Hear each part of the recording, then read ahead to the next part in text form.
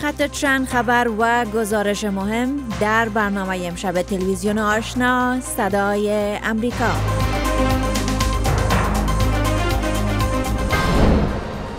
در ادامه تنش در شرق میانه عربستان می‌گوید خواهان جنگ با ایران نیست اما با تمام توان از خود دفاع می کند. درخواست جو بایدن یک تن از نامزدان دموکرات انتخابات ریاست جمهوری آمریکا برای تحقیق درباره گفتگوی تلفنی رئیس جمهور ترامپ با رئیس جمهور اوکراین درباره فعالیت‌های تجارتی پسرش و موفقیت زنان در صنعت مرغداری در بلخ. زنان بیش از 50 فارم مرغداری را در این ولایت مدیریت می کنند. ما امیدوار هستیم که در آینده از این مرغداری بتانیم خرج مخارج تحصیل زندگی خود رفع بکنیم.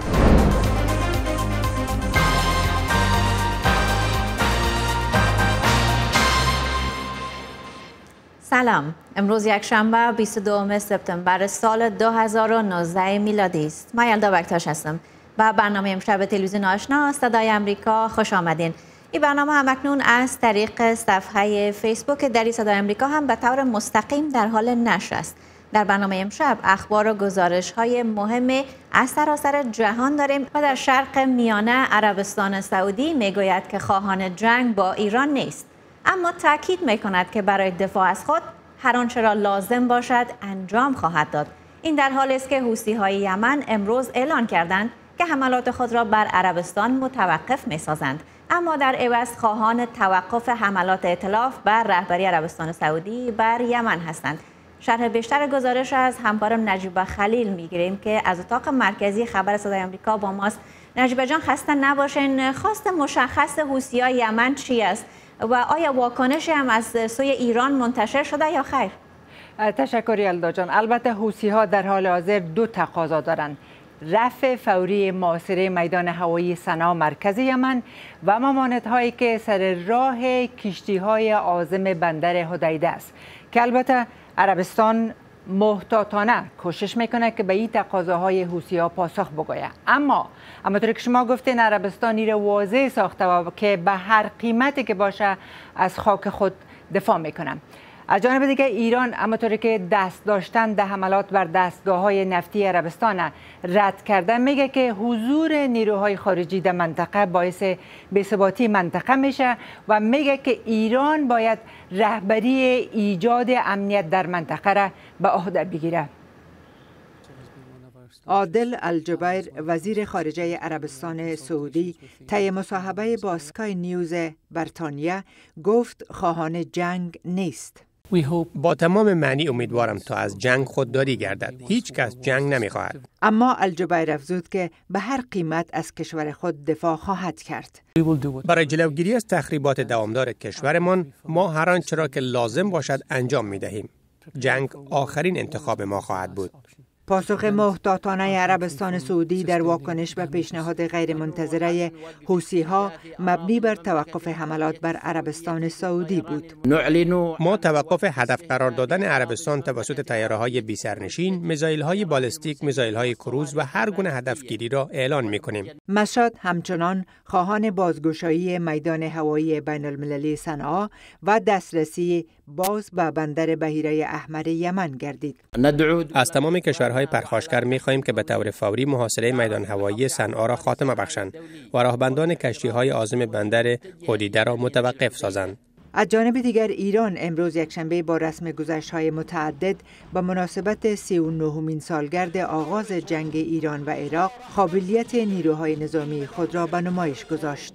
حسن روحانی در جریان سخنرانیش در یکی از این مراسم گفت ایران باید رهبری ایجاد امنیت در منطقه را به عهده گیرد.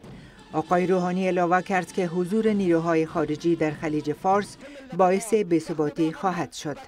حضور نیروهای خارجی می تواند برای منطقه برای آبراهای جهانی برای امنیت کشتیرانی برای امنیت نفت و انرژی مشکلزا و خطرناک باشد.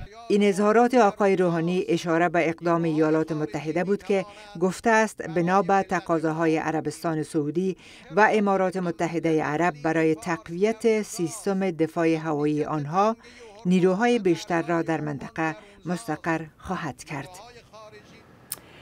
البته باید علاوه کنم که حوثی ها جنگ علیه ائتلاف عربستان سعودی را در سال 2015 پس از او آغاز کرد که عربستان حمایت خود از حکومت یمن اعلان کرد. ایران متهم به حمایت از جنبش حوثی هاست ولی مکررا اتهامات رد کرده. یلدا جان؟ تشکر نجیب جان وقتتان بخیر. در هنگ کنگ معترضین طرفدار دموکراسی امروز با پلیس ضد شورش درگیر شده و در بخشهایی از شهر راهپیمایی به خشونت و زد و خورد کشیده شد. درگیری میان مظاهره کنندگان و پلیس امروز بعد از ظهر و وقت محل پس از آن آغاز گردید که پلیس از تعقیب معترضین دست کشید و مظاهره کنندگان به مناسبت دومین ماه حمله حمله دست جمعی با ایستگاه یوان لانگ در آن محل جمع شده و به سمت پلیس مواد آتشزا پرتاب کردند. در پاسخ به این اقدام پلیس نیز با پرتاب گاز اشکاور به سمت معترضین سعی در متفرق نمودن آنان کرد. پلیس هنگ کنگ دیروز نیز از گاز اشکاور برای متفرق کردن مظاهره کنندگان استفاده کرد. اخبار افغانستان و جهان. تحولات سیاسی و فراتر از آن. تحلیل و بررسی رویدادها. تلویزیون آشنا صدای امریکا. منبع اخبار موثق و گزارش های جامع برنامه رو با گزارش های از افغانستان ادامه می دهم پنج روز به برگزاری انتخابات ریاست جمهوری افغانستان بیشتر باقی نمانده. و شبکه زنان افغان امروز با صدور اعلامیه خواستار ایجاد تغییرات در قوانین مربوط به اجباری شدن عکس برداری از زنان در روز انتخابات ریاست جمهوری شدند. در این اعلامیه آمده است که با توجه به وضعیت موجود زنان در سرتاسر سر آن کشور این قانون می تواند در برخی از مناطق افغانستان مانع برای شرکت زنان در این انتخابات گردد. کمیسیون های محترم انتخابات در قسمت اشتراک وسیع زنان و حق رأیشان تعهد خیش را در قبال زنان مستحکمتر از همیشه داشته باشند. اخذ عکس این ارائه دهی برای زنان در بعض مناطق که ایجاب می کند اختیاری گردد. کمیسیون مستقل انتخابات افغانستان در واکنش به این تقاضا می‌گوید که گرفتن عکس زنان در روز انتخابات برای شفافیت این روند الزامی است و به گفته این کمیسیون برای عکس برداری از زنان زنان رای دهنده محرومیت در نظر گرفته شده و البته محرمیت در نظر گرفته شده و کارمندان زن برای این کار گمارده شدند. برای بحث پیرامون روند آمادگی انتخابات و نگرانی مردم و نهادهای ناظر از چگونگی تضمین شفافیت این انتخابات و همچنان امنیت آن با محترم محمد یوسف رشید رئیس اجرایی بنیاد انتخابات آزاد و عادلانه افغانستان فیفا که از طریق اسکایپ مهمان برنامه ما هستند. گفتگو می‌کنیم. آقای رشید با سلام و سپاس. با وجود از اینکه بسیار مصروف بودین و برنامه پیوستین آیا نیروهای امنیتی و کمیسیون مستقل انتخابات افغانستان و وعده هایی که برای آمادگی و تامین امنیت انتخابات داده بودند تا به حال عمل کردن یا خیر؟ تشکر. عرض سلام می‌کنم خدمت شما و بینندگان محترم تلویزیون آشنا یا صدای امریکا. خب وضعیتی که در افغانستان حاکم است متاسفانه جنگ هنوز هم یک معضله جدی است ناامنی یک خطر کلان در مقابل پروسه انتخابات قرار دارد. نه تنهایی که یه خطر سرتاسری بودن انتخابات صدمه میرساند در این حال امنیت کارمندای انتخابات که در پروسه کار بکنه امنیت رای دهندگان ناظرین و مشاهدین هم تقریبا در بر می‌گیره. تا جایی که در تماس هستیم با همکارای ما در کمیسیون انتخابات و در کابل و ولایت تقریبا پیدا میشه که کارمندان به نحو تهدید میشن و کمیسیون در این قسمت متاسفانه در بعض جاها با مشکل مواجه هست که چگونه واقعا این امنیت این تهدید رفع بکنن. آقای رشید می‌تونین بگوید مشخصا در کدام مناطق افغانستان این تهدیدات صورت گرفته؟ خب این تهدیدات در مناطق جنوبی افغانستان وجود داره در مناطق جنوب شرق افغانستان وجود داره. از زابل همکارای ما برای ما گزارش دادن. یعنی ولایت های مختلفه که در اونجا طالبان بیشتر ایمال نفوذ دارن در اونجا به نحو وجود داره این مسئله و یک خطر خطر عمومی از مشخص یک کارمند دو کارمند نمیشه. در لغمان فرمثال در شرق افغانستان تعداد متاسفانه برای کارمندای کمیسیون انتخابات وجود داره. بله. خب از جانب هم برگردیم به مسائل تکنیکی. خود انتخابات گفتم که استفاده از تکنولوژی در انتخابات ممکن مشکل آفرین شود به خاطر از اینکه معلومات به آسانی می‌تونن حذف شوند یا هم دستگاه خاموش شود. و نظرتان آیا آموزش های لازم به کارمندان داده شده و چگونه می‌توان از شفافیت در این روند مطمئن شد؟ خب کمیسیون با تجاربی که از گذشته داشته ای بار تا حد اصلاحات لازم آورده.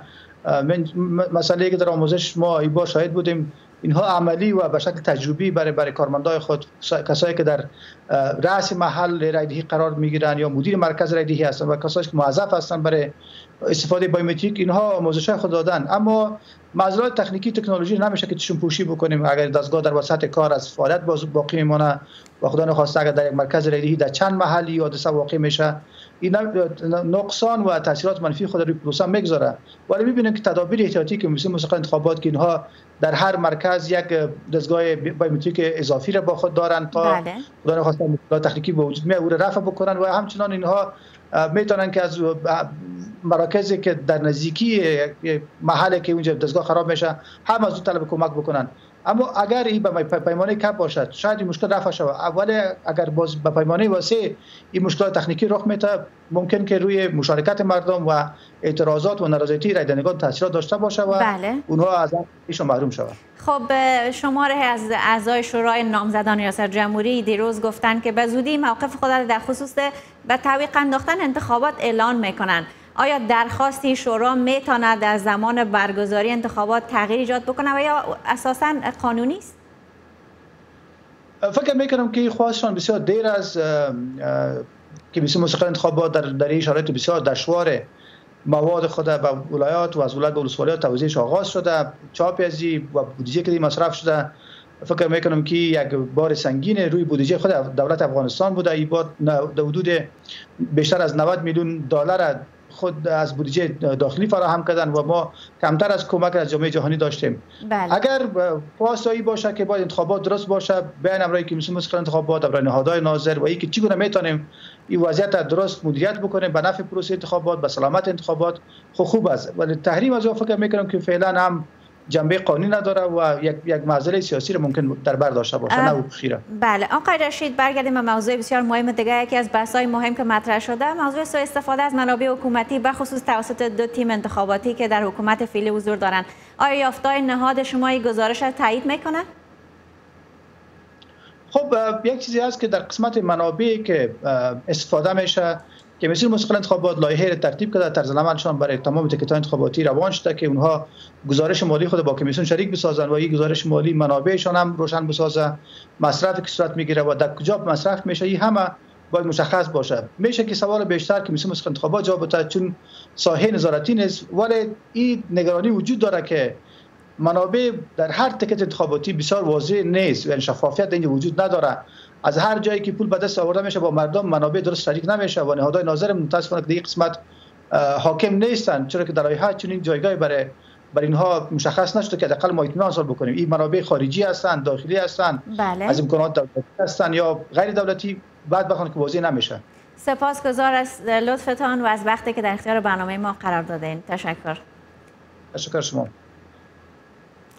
گلالای اسماعیل فعال حقوق بشر که در پاکستان برای حمایت از جنبش تحفظ پشتونها فعالیت می‌کرد به امریکا آمده و خواهان پناهجویی شده است. از جانب دیگر محسن داور و علی وزیر دو فعال دیگر این جنبش نیز اخیرا از زندان در پاکستان رها شدند. گلالای در مصاحبه اختصاصی با همکارم برشنا عمر خیل گفت که در ابتدا زمانی که فعال حقوق زنان بود هیچ تهدید از جانب ادارات استخباراتی پاکستان احساس نمی‌کرد. ولی اکنون ادارات حکومت پاکستان بر او الزامات سنگین را وارد کرده و او نگران زندگی و مسئولیت خود در پاکستان بود. چې ښځو حقوق مبارزه کوله نو نازولې وم او چې کلمه د امن د پاره کال شو کار شروع ک انتها پسندي خلاف مکار شروع ک او ما وی چې زموږ ځوانان د دهشتګرد تنظیمونو ته نزي خپل ځوانان د زبچ کم. نو دا غي نه پسې بیا زنه وم خو خډيره اول نه هم لکه بیا لکه بد شم چې کلمه د انتها پسندي خلاف کار شروع ک خو چې کله پښتون تحفظ موومېنټ شروع شو نو د پښتون تحفظ موومېنټ سره چې کله ما خپل ز ډیر کلک ودرېدلم په پا پاکستان کې عام طور باندې چې کوم سیول سوسایټي ورته مونږ وایو یا انساني حقوق لکم کار کوي نو ډیر ادارې کوم دینو هغه اون درېدل پښتون تحفظ موومېنټ سره ځکه چې پاکستانی ریاستي ادارو دومره یره خوره کړې ده چې کم کس یا کم اداره پښتون تحفظ موومېنټ سره ودرېږي نو دای هغه اداره بندي لکه زما ادارې بند کړله زما اکاونټونه بند کړل زموږ د دفتر جنکۍ ډېرې زیاتې تنګ کړلې. نو عام طور باندې سیول سوسایټي وایي چې یاره زموږ خو موږ ته په دې وطن کې بیا په دې ملک کې موږ ته کار کول ګرانېږي. نو هغه نه درېدل. خو ما وی زما خبره ډېره کلیر و چې زه کار د انساني حقوق د پاره کوم و در خبر دیگر مرتبط به پاکستان در اثر یک حادثه ترافیکی در شمال غرب آن کشور 26 نفر کشته و 11 تن دیگر زخمی شدند.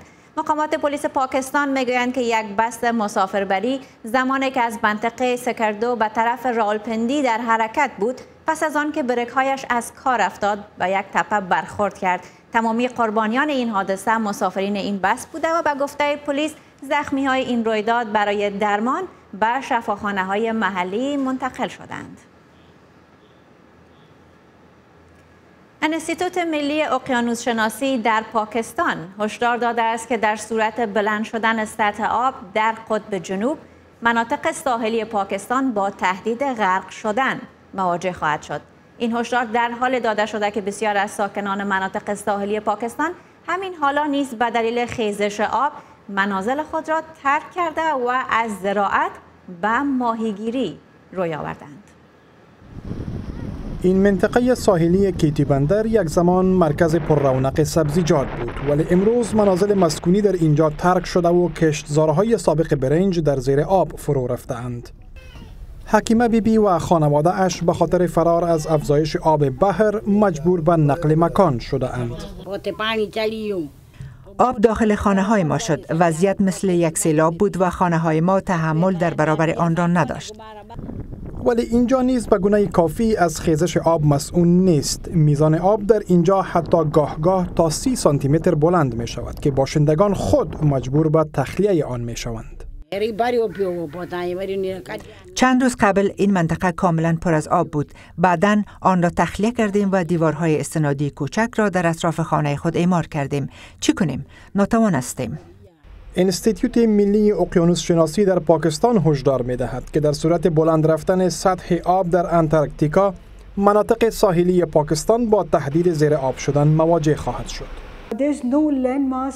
میان انتارکتیکا و بحیره عرب خشکه وجود ندارد. بناً اگر هر گونه تغییر به دلیل گرمای اقلیم به وجود بیاید در آن صورت سواحل پاکستان مستقیما متأثر خواهد شد. این بسیار نگران کننده است.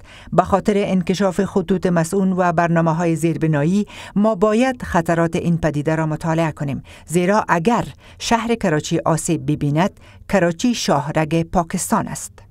کراچی که اضافه تر از 17 میلیون جمعیت را میزبانی می کند نه تنها بزرگترین شهر پاکستان است بلکه مرکز اقتصادی این کشور نیز محسوب می شود. پاکستان بیش از 990 کیلومتر با بحیره عرب مرز دارد. آب شدن یخبندان ها در انتارکتیکا به گونه نگران کننده در حال افزایش است.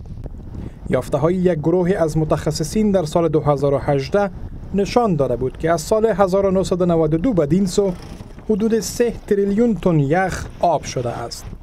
ساینسدانان در ادارات تحقیقات فضایی ایالات متحده و اروپا به این باورند که تنها انتارکتیکا می تواند تا پایان این قرن سطح آب ابحار را تا حدود 16 سانتی متر افزایش دهد.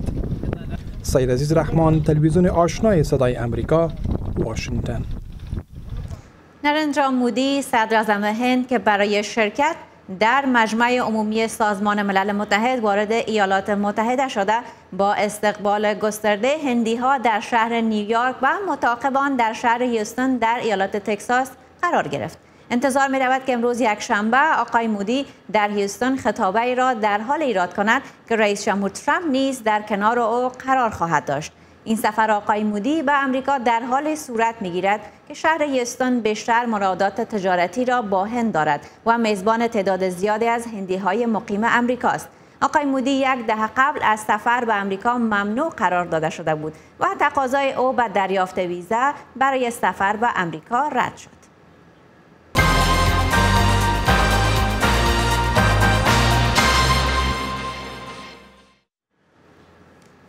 پانتون ایالتی هوزه در کالیفرنیای امریکا میزبان اولین نشست فرهنگی افغان ها بود و در این نشست کتاب ناشناس ناشناس نیست نیز رونمایی شد.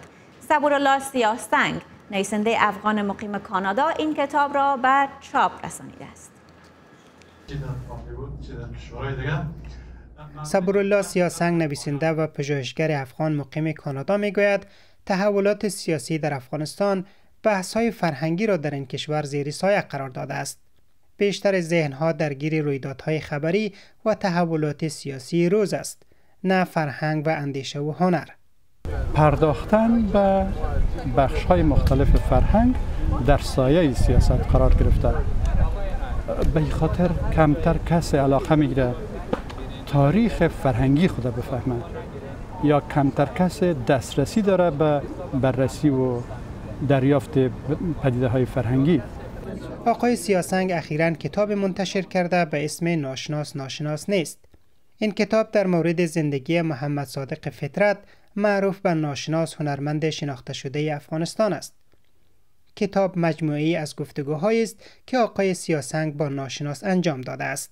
ما هنرمندان و نمایندگان پیشگام در عرصه ادب فرهنگ داریم که به انزوا رفتند.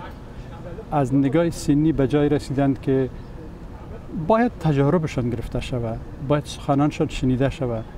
حالا از میان سخنان اینا از یادداشته ها از خاطرات اینا آدم می‌تونه به داوری های گوناگون به دریافت های گوناگون برسه. در بخش معینی از جامعه در کدام سالها چی میگذاشت